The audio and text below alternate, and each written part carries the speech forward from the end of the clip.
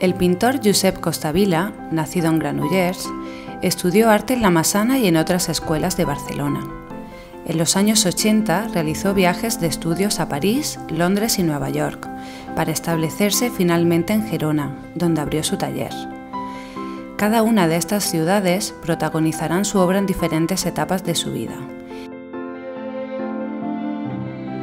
Bueno, mi vida como artista empezó ya desde muy pequeño, creo que no he hecho nada más.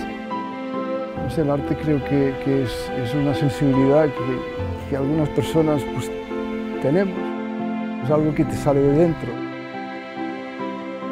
Y siempre todo lleva, a, un, conjunto de experiencias que, se van plasmando y que sin darte cuenta pues te va, haciendo una forma, no sé, una forma diferente de, diferente de expresarte.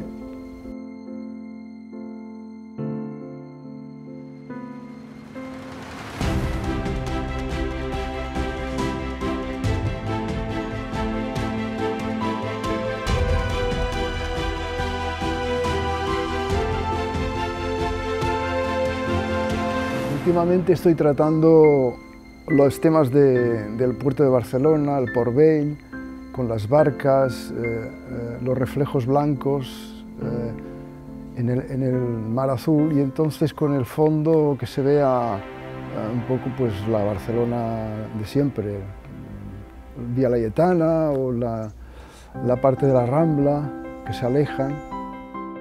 Cada ciudad tiene su peculiaridad, su, forma, su, su vida. París me da un poco el tema romántico ¿no?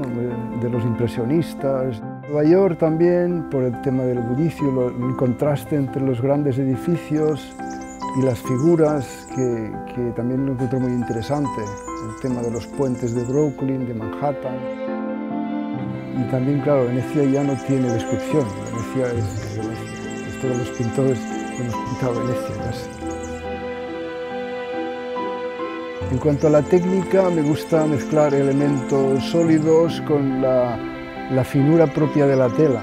Pues logro estos contrastes de, solidez con la vaporosidad de, algunas zonas del cuadro.